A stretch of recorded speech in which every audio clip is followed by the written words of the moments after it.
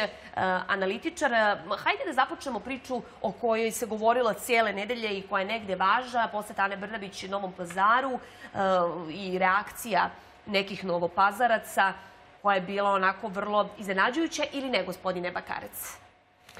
Pa iznenađujuća je bila kada, međutim, u tom trenutku, međutim, sada kada znamo ko su organizatori, a moglo u tom trenutku, znači stranka demokratske akcije, odnosno Suleman Ugljanin, je doveo dvadesetak svojih pristalica e, da viču, pošto on nije ministar znači, u ovim vladama i pokazao se, on je bio Đilasov ministar i Tadićev u tim vladama je bio ministar i pokazalo se da je bio beskoristan kao ministar, mislim, potpuno za razliku od e, gospodina Ljajića ili doprinosa koji je konstruktivan gospodina Zukorlića. A on, setimo se, predvode i stranku demokratske akcije, to je sestrinska stranka onoj stranci iz Bosne i iz Hercegovine. To je po meni ekstremistička stranka i ta stranka je stalno povezana sa islamskim ekstremistima i ta stranka je bilo u Raškoj oblasti, a ne Sanđaku, to Sanđak je jedna turska reč koja znači administrativnu oblast. Znači, to je Raška oblast. Znači, stranka demokratske akcije iz Raške oblasti, a iz Bosne i Hercegovine je staran rezervoar terorista i vidimo da oni završavaju tamo su ISIS-u i na vama to, Bliskom jel, istoku i tako dalje. Jel bilo očekujuće da, će oni tako, da će oni tako reagovati, da će, da će pa, određeni očekivano... grupaci okretati leđa, da, da, da. medicinari, da će medicinari Sada okretati leđa završeni premijerki? su, dakle, izbori i Uh, Savez za Srbiju je prestao da postoji, odlučio je da se preodene, da se zaogrne u neko drugo ruho, to je Đilas odlučio, mislim što je besmisleno. I onda sad oni traže nove partnere. Stari partner je bio Suleman Ugljanin i njegovi ekstremisti koji su došli tamo da viču i da se deru.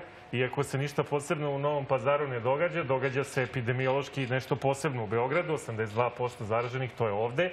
Tamo ništa, znači potpuno veštački izazvano. Znači čovjek koji je ekstremista došao je tamo da viče i da, ovaj, uh, mislim i čudno je, znate, ali to su, ovaj, to su u stvari naši Srbi, braća muslimani, pa i njih moramo da tolerišemo, ali ne znači da ćemo da ćutimo i da ovaj, ostanemo nemi na to što radi Suleman Ugljanin ekstremista. Uh -huh. uh, Violeta, kako si ti doživela ponašanje određene grupacije ljudi u Novom pazaru. Pa generalno malo pre smo pričali o tome... Jel mi opet epidemiološko pitanje svodimo na političko? E, sve e, je krenulo u tom pravcu. Uh mhm. -huh. E, naravno, htela sam da kažem, očekivali smo da će uvek biti nekih tih agresivnih istupa. Što god da se sada uradi, to nije dobro urađeno. Bilo da je reč o političkim potezima, bilo da je reč o zdravstvenim potezima. Gledajući šta se sada dogodilo, mi imamo jednu situaciju gde je Beograd vrlo ugrožen i gde se komplikuje sa studentskim studentskim, naravno, studentskim protestima, a ovo što se desilo u Novom pazaru i kompletno te, e, te reakcije, taj agresivan pristup, mislim, očigledno želi se da se uradi nekakva hronična destabilizacija i izazivanje e, kod građana stalnog osjećaja neke nesigurnosti. Umesto da krenemo e, da se bavimo konkretnim pitanjima koje su pred svima nama, mi ćemo videti već da će jesen imati te ekonomske, ekonomske utice, znači iz celog sveta će se preliti. Ne može Srbija da ostane zanemarena. Umesto da se bavimo tim temama i da mi kao građani koji smo svi izloženi, kao i mi novinari i kolege koji su ovde, mi se puno krećemo, treba da razmišljamo o tome kako ćemo da ostanemo e, zdravi i da sačuvamo svoje bližnje i da damo podršku svima onima koji nešto dobro rade za nas. Da budemo jedan tim i sa vladom i sa Da? Da, i sa vladom i sa svim ovim što, se, što, se, e, što možemo da sami uradimo. Marko, da li vi a, ovo što se događalo ove nedelje u Novom pazaru doživljavate kao jednu vrstu poruke predsjedniku Srbije? U kom smislu? Evo šta će ti se dogoditi ukoliko se i ja ne budem našao u vladi Republike Srbije. Pa svakako da Sulejman Ugljanin jeste iskoristio situaciju u Novom pazaru i dolazak premijerke Brnebić da pošalje neku vrstu poruke. Znate, on je već dugo van, van centralnih republičkih institucija. Dok je imao ministarsko mesto u vladi, on je bio veoma konstruktivan, kooperativan, samo ako mu date da ima da kontroliše neke novčane fondove. Tada ja mislim bio zadužen za regionalni razvoj ili šta već. Dakle, njegova politika se svodi na, na tu vrstu apanaže. Ako ima neke novčana sredstva i ako dobije znači, priliku da svoje ljude udomi, da ih prikači na državne financije, da profitiraju, ako se dozvoli kriminalnim grupama koje su povezane sa njegovom strankom, da, da dole se bave narko i, i seksi trafikingom. Dakle, on je onda kooperativan politički faktor. Ako mu se to ne dozvoli i ako nije deo vlasti, onda Srbiju naziva fašističkom državom. I, i znate šta je ovdje još jedan ključni moment, samo da ukažem. Dakle, mnogi mediji u Srbiji koji su povezani sa Draganom Šolakom, odmah su prihvatili to, taj protest i pokušali su da prikažu kako su protestovali neki članovi porodica, ljudi koji su umrli. Tamo je bilo 20 nabildovanih mladih muškaraca, nijedna žena, nijedan stari čovek. Oni uopšte nisu ličili da su došli iz nekih porodica gde, kojima je neko postradao od korone. Dakle, ponašali su se kao politički, ne čak ni aktivisti, više su ličili na Da, neku ali grupu bila je jedna žena koja je telohranitelja. letela u dom zdravlja kad je Tako je. Lončar stajao sa Brnabić, ovoj koja je majka umrla. Jeste. e, U ovoj grupi od 20 i koja je ljudi... bila očajna. Ovih, ova grupa od 20 ljudi bili su svi muškarci, svi nabildovani, ličili su više na telohranitelji, na neku paravojnu formaciju, samo im je oružje falili u uniformi da zaista bude, bude dojam potpun u tom smislu. Gospodine Bakarec? Pa da samo pridodam da su nadležni organi i prepoznali neki od tih učesnika kao kriminalce koji imaju dosije o čemu je Markor govorio kako su oni izgledali. Prema tome, dovesti A tamo... jeste li, vi, jeste li čuli te poruke? Jeste li gledali te snimke? Te Ne poruke ja to su... nisam, mislim, Pa pročitao Poruke su sam deo apsolutno bile toga. upućene lično uh, predsjedniku. Ma naravno. Ba to, To nije imalo, to je- vez, uh, nije- imalo uh, osim te žene koja je zaista uletela u dom To je zdravlja. preporuka Sulejmana Ugljanina Mhm. da on se preporučuje na taj način, samo ljudi kad se preporučuju za nešto, Ali se da- preporučuju na lep način, Jel mislite a ne da ti nemiri idu- i kriminalcima. A jel mislite da ti nemiri u Novom pazaru uh, su jedan korak Ne, nema nemira, ka... to je Mhm. 30 ljudi u Sandžaka. 5 minuta, 10... uh, Pa, odcepljenje Sandžaka nije tema, to je tema jedino Sulejmanu Ugljaninu. Mhm. Ali pošto on, on tamo nema ni trećinu podrške neke, onda to nije tema. Mislim. Da, jer e, postavlja se pitanje da li ljudi ti koji su skandirali e, dođi ovamo pa da vidi šta je politika i tako dalje, da li su oni imali separatističke težnje ili su bili e, u sprezi sa opozicijom e, bili iz Beograda da prosto Vučiću pošalju poruku ako nas ne staviš u vladu vidit ćeš kako ćemo proći. Tako dakle, je, znači, to su dileme o rekao, je, dok je bio u vladi i on je vrteo palčevima, znači bio je apsolutno Mhm. beskoristan. Zašto je bio formalno zadužen? Znači, jeste nešto, ali apsolutno ništa nije uradio. Znači, njegov rezultat je nula. Međutim, naravno da je on povezan, rekao sam, to, to će biti budući partner ovaj, ove nove bojkot Đilasove preimenovane opozicije, pošto se ova Savez za Srbiju se apsolutno kompromitava, pa moraju nađu nešto novo. Evo imaju novog partnera, on nije rekao da im neće biti partner. Ko, Ugljanina? Ugljanin. Novi, ovaj, Ne davimo Beograd ih je već odbio i ovaj pokret iz Kraljeva, normalno su odbili Đilasa, je on, on, je direktno kompromitovan, pa gde god on bude, to će biti kompromitovan. Tako da, a što se tiče ovoga, znači od kad je ove vlasti, znači od 12. godine, odnos prema nacionalnim manjinama je nikad bolji, dokaz su sami Mađari i ostale nacionalne manjine. Uh, odnos prema građanima Raške oblasti je nikada bolji, nikada tenzije su potpuno Da. splasle i jedini faktor koji tamo ima je sve nepopularniji ekstremista Sulejman Ugljanin. Dobro. Mi ćemo se sutra od 8 sati detaljnije baviti temom Novog pazara. Sutra će centralna tema Vikend jutra na Happy biti Pazar. Da li je Pazar nova Priština? Odnosno, Kosovo i Novi Pazar, je li to scenariju na bis? Pričamo sutra od 8, a sada tema Magarac Land u Budvi. E, Verovatno znate da se Magarac našao pred opštinom Budva. Kao što je Kočić rekao, e, Jazavac je bio pred sudom, a sad je Magarac pred opštinom u Budvi bio pre nekoliko dana i to je bila fantastična inspiracija e, i za mene i za Vikend jutro na Happy-u da uključimo Ivu Bajković koja je tog Magarca i donela ispred. U najavi sam napisala, gospođo Ivo, da su Nušić, Domanović i Kočić živi. Verovatno bi novu satiru napravili sa ovim Pa Magarcom. ne samo, dobro jutro, prvo Dobro gledalcima televizije Happy, ne samo Kočić, Nušić, Domanović, već verovatno bi i sam Kaligula imao novu inspiraciju, kao što je mene zapravo Kaligula i inspirisao kad je uveo konja u rimski senat. E sada imamo jedan problem, ja nisam mogla da nađem konja, pa sam našla magarca, ali umeđu vremenu DPS je u opštinu Budva uveo čitavu ergelu tako da su me preduhitrili, pa ja moram sada da se izvinjavam jadnom magarcu što sam ga ponizila i poistovetila sa određenim ljudima iz grada Budve. Znate kako, gospođo Ivo, kod nas se kaže, uh, meni je žao što ste magarca uzeli, jer magarac je toliko jedna plemenita životinja, to su ljudi koji najviše vuku po firmama. Vi u svakoj firmi imate po dva, tri magarca koja vuku, a drugi se šlepaju na kontu tih magaraca. Tako da mi je žao što ste magarca upotrebili u tom kontekstu, ali nema veze. Bitno je da mi vi kažete šta ste želeli time da pokažete. Šta je poruka tog magarca ispred opštine Budva? Sad ćemo ga videti e, i u snimku dok pričamo. Poruka magarca ispred opštine Budva je e, poruka svim građanima Crne Gore, ne samo Budve, e, a to je e, politička poruka, vrlo jasna poruka, da se ne lažemo o tome da Demokratska partija socijalista, koja je vladajuća partija u Crnoj Gori, čiji je šef Milo Đukanović, može i Magarca da kandiduje i on će pobjediti na nekim izborima, bilo da su izbori slobodni ili kao što se redovno dešava pokradeni, ili kao što je to ovdje u Budvi situacija da je izborna volja građana bukvalno ukradena. 2016. građani Budve su rekli ne DPS-u, koji je tokom deset godina svoje vladavine e, ostavio urbanistički haos, finansijski haos, e, infrastrukturni haos i građani su jednostavno rekli mi to više nećemo. I mi to više nećemo da trpimo i mi želimo neke promjene. Te promjene su se dogodile mirno, olovkom, izborima, regularno, kao što se svuda u civilizovanom svetu događa.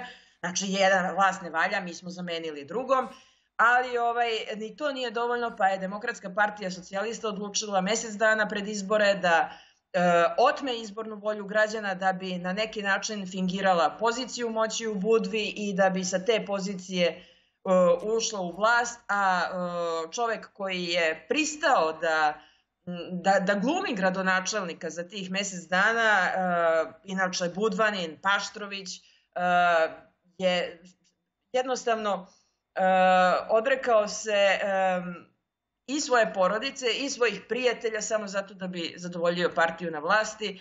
Ovaj, i, da, I još jednom ponavljam se, zaista izvinjava magarcima koji, koji su, kao što ste fino rekli, i fine i plemenite životinje, pa na kraju krajeva i kroz Bibliju imate čest motiv magarca kao uh, glasnika, jer se magarcu ukazao anđeo Boži Magarac je uveo Isusa u Jerusalim, yes. dakle plemenita životinja koju nažalost mi ne cijenimo dovoljno i moramo da je iskoristimo povremeno za neke političke performanse koje imamo, ali nadam se da kako, ali kao što Magarac e, je doneo dobar glas, vesnik je dobro glasa, nadam se da će Magarac u Budvi biti vesnik dobro glasa i u Crnoj Gori.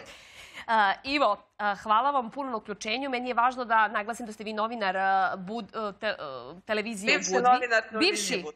Bivši. Dobro, želim vam svu sreću i u svakom slučaju ovo je bilo vrlo upečatljivo što ste, što ste učinili, što ste uradili. Samo mi kažite kakva je trenutna sad situacija. Gospodin Bato Carević, on više ne, ne može da uđe, je li tako, u opštinu?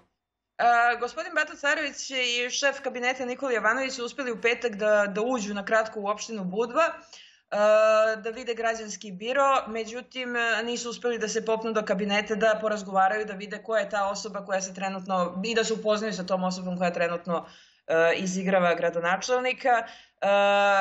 U Budvi ne radi građanski biro, znate onaj šalter koji, koji prima građane već 11-12 dana, puštaju se ljudi selektivno u zgradu opštine i postavlja se pitanje ko odlučuje o tome ko može da uđe u zgradu opštine, e, zašto građani Budve ne mogu da ostvare svoja prava e, na građanskom birovu. Znači, ako e, vi sad imate situaciju, jako je sezona katastrofalna, znači nema sezone, ali ljudi pokušavaju da otvore te neke svoje plažne parove, oni moraju u opštini da uzmu potvrdu, potvrdu o radu, bez nje ne mogu da počnu ali to im nije omogućeno. Tako da sada imate upravo tu situaciju. E, neko je odlučio da uhapsi opštinu, odnosno zgradu opštine, i da ovaj pokušava da to neutrališe građansko nezadovoljstvo. i da onako selektivno polako pušta. Ovaj. Hvala vam puno e, na uključenju. E, Čuvajte tog e, magarca. Magarci su životinje koje imaju najlepše zube. E, To znaju e, deca koja su rasla na selu. Igrom slučaja, moj kući ljubimac je bio jedan magarac Sima, pa sam zato ja emotivno vezana za magarce i branim pravda za magarca ispred, ispred opštine Budva. Dok neki imaju pse, ja sam imala tu životinju i oni su jako plemeniti, jako pametni, uopšte nisu glupi, veliki su radnici i mnogo su pametni. Magarci. Prijetno. Hvala vam, e, Ivo. E, hoćemo da zaključimo ovu temu i sa time da završimo našu, vaše gostovanje i, i ovu temu Magarac Lenda u Budvi. Šta možemo još da očekujemo od crnogorske vlasti? Sutra ćemo se baviti temom istopolni brakovi su dozvoljeni u Crnoj Gori. Da li, da vam je neko to rekao, evo iskreno vas pitam, da da vam je to neko rekao pre pet godina, jel biste verovali u to da će se dogoditi u Crnoj Gori? Koja je vrlo Pa konzervativna samo, da, zemlja i društvo pre e, svega. Gde je daleko otišla Crna Gora, govori sad upravo ovaj primer e, ustavnih promjena u Rusiji, gde je novim ustavnim promjenama ojačano ustavom, dakle, još definicija braka gde je naglašeno da je to institucija zajednice muškarca i žene. Dakle, to je u Rusiji. A ovde imamo, mislim, problem u Crnoj Gori je, pošto se već šalimo na temu magaraca i filmova i Da. pozorišta i tako dalje umetnosti, znači imamo onaj film Dan mrmota. Crna Gora se 30 godina budi u godini svakog dana, u danu mrmota i ljudi ovaj, protrljaju oči kad se probude ujutru i na ekranima je televizora Milo. I tako 30 godina puta 365 dana, to je dan mrmota, jedan strašan koji traje ovaj, u Crnoj Gori, ali sad vidimo da je to možda pretočeno u dan magaraca. Znači, umesto, verovatno, o magarcima u Budvi koji postoji, koji su zauzeli opštinu, postoje sigurno isti takvi koji su zauzeli vlast Crne Gore već 30 Metafora, odlična, odlična metafora. Violeta. Odlična metafora svakako, ali mislim da je problem Crne Gore će, e, je vrlo značajan zato što i on predstavlja e, nešto što može da proširi na čitav region. Odnosno, radi se na tome da se naša južna pokrajina, e, pitanje e, o Crne Gore i njenog učešća koje već svi znamo da je u NATO-u, čak i ova odluka uopšte nije beznačajna istopolni brakovi. Šalju, šalju se jasne poruke. Tako da možemo da očekujemo e, stalne te pokušaje da se destabilizuje u stvari ceo region. Imamo to, tu čuvenu zelenu transverzalu, ali to nije baš tako jednostavno. Mislim da se kreće u tom pravcu i ovo što se dešava sa Crnom Gorom i ovaj intenzitet i sve što se dešavalo sa zakonima e, o veri i o- to je, to je, znači sve jedna dobra uvertira i sve se radi sinhronizovano. Pogotovo u trenutku e, sada kada imamo pandemiju, kada su mnogi iz svoje političke snage uložili u to da se to pitanje e, spreči. Videli smo šta je sve uradila Srbija. Violeta, vama je izašla vaša knjiga.